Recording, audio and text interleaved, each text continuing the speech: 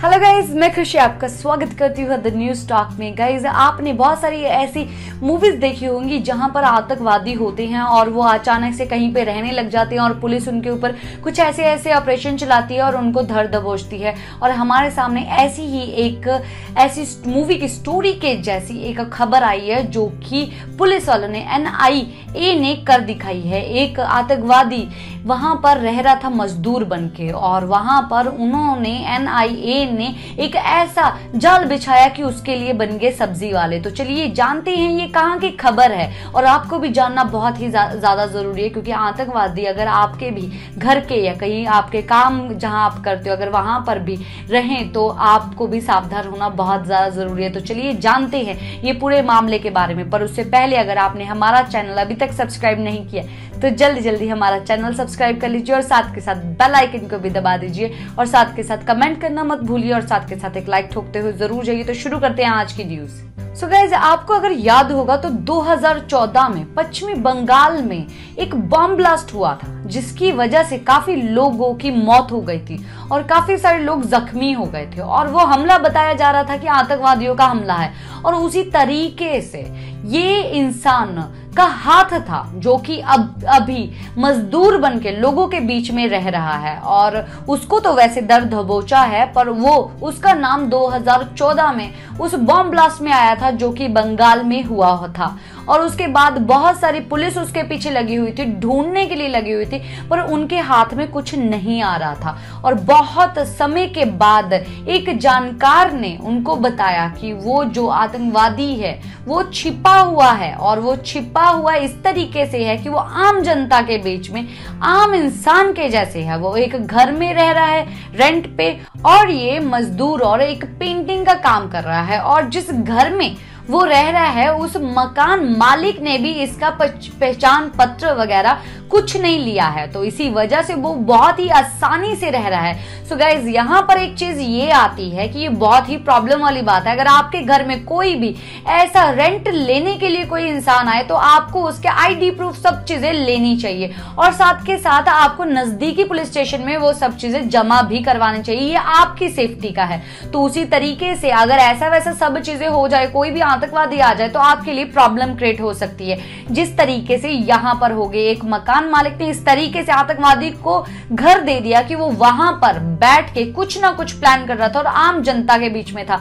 और ये बहुत ही खोंखार था। और आप लोगों को हम बता दें कि इसने खुद ट्रेनिंग ली हुई है। फाइटिंग की ट्रेनिंग ली हुई है बॉम्ब ब्लास्ट की ट्रेनिंग ली हुई है गन चलाने की ट्रेनिंग ली हुई है। इतना ज़्यादा खोंखार ये आदमी है और आम जनता के बीच में बैठा था। इस आदमी का नाम है, इस आतंकवादी का नाम है जहरुल शेख। और एनआईए ने इसके ऊपर इस तरीके से जाल बिछाया कि जब उनको जानकारी मिली कि ये इंदौर में एक जगह पर, एक मोहल्ले में, एक घर में रह रहा है, एक जानकार के ज़रिए, तब उन्होंने बिना कुछ सोचे समझे कि नहीं, हमें कुछ ना कुछ अगर हम धर दबोचेंगे तो पता नहीं आजू बाजू के लोगों को क्या हो तो उन लोगों ने बहुत ही समझदारी से काम लिया। और उन्होंने उसके ऊपर नज़र रखनी शुरू की और नज़र किस तरीके से रखा जाता। तो अगर वो पुलिस ड्रेस में जाते या अपनी यूनिफॉर्म में जाते तो उस आतंकवादी को पता चल जाता और पता चलने के बाद उसको धर दबोचना बहुत ही ज़्यादा मुश्किल हो जाता। तो इसीलिए एनआईए के जो पुलिस कर्मचारी है, उन्होंने जो ऑफिसर्स है, उन्होंने एक योजना बनाई। वो योजना ये थी कि जो उस घर के आजू बाजू में जो सब्ज़ियाँ बेचते हैं, उन्होंने उनका रूप धारण कर लिया और सब्ज़ियाँ सब्ज़ियाँ वहाँ पर बेचने लग गए और वो जब सब्ज़ियाँ देते थे लोगों से और लोगों के साथ बात करते थे और उसकी पूरी जानकारी बटोरी और 15 अगस्त से दो दिन पहले उस शेख को वहाँ पर धर दबोचा। और धर दबोचने के बाद पता चला ये वही आतंकवादी है जो कि 2014 में बंगाल, पश्चिमी बंगाल में बॉम्ब ब्लास्ट में इन्वॉल्व था। और आज उसके ऊपर पूछताछ चल रही है और आगे ये माना जा रहा है कि 15 अगस्त का उसका कुछ ना कुछ ऐसा प्लान हो सकता था, जो अभी तक पूछताछ में बाहर नहीं आया है, क्योंकि 15 अगस्त से पहले ही उसको धर दबोचा सो गाइज़ ये बात बहुत ही सीरियस है। अगर कोई भी ऐसा शख्स आपके आजू बाजू में नया दिखता है तो ज़्यादा बेटर है कि आप उनसे बात ना करें। अगर आप बात करते हैं तो सिर्फ़ उतनी ही बात करें जितनी वो जानकारी आपको देनी चाहिए। और ना कि अपने किसी भी चीज़ के बारे में, अपने मोहल्ले के बारे में, अपनी फैमिली के बारे में ना ही दे तो ज़्यादा बेटर होगा।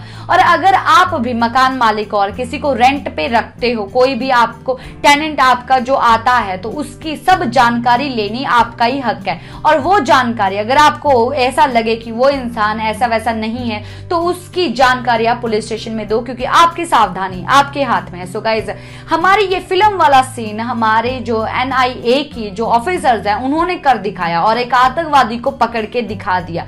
इनको सल्यूट करना तो बनता है तो हमें एनआईए सल्यूट करके ज़रूर डालिए।